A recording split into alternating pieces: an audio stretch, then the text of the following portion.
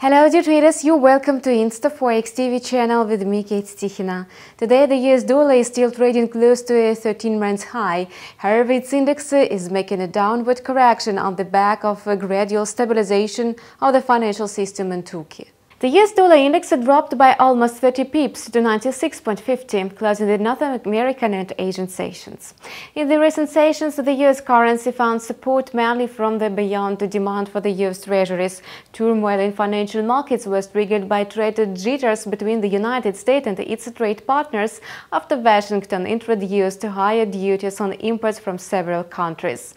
Remarkably, uh, those countries which have suffered from the United States protectionist rhetoric are not going to give up. For example, Qatar agreed to back Turkey in the trade war with the US. Qatar decided to invest 15 billion US dollars in Turkey's economy. As a result, the Turkish lira is gaining ground against its American counterpart. Another factor is in market turbulences that the United States and China are willing to settle the protracted trade dispute. Washington and Beijing have agreed to continue trade talks. In this context, the Japanese yen showed resilience to the US dollar in the Asian trade. The dollar yen pair again has sunk below 111.00.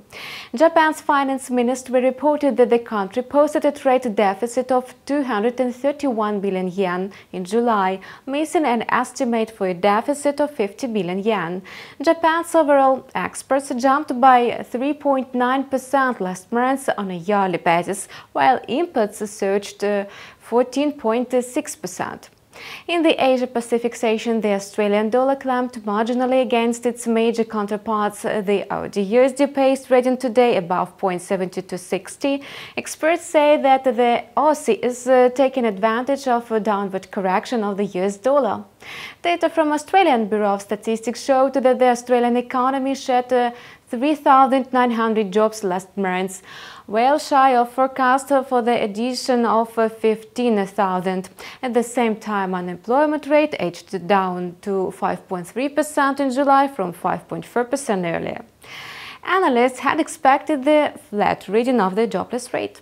The economic calendar today contains reports uh, of crucial importance.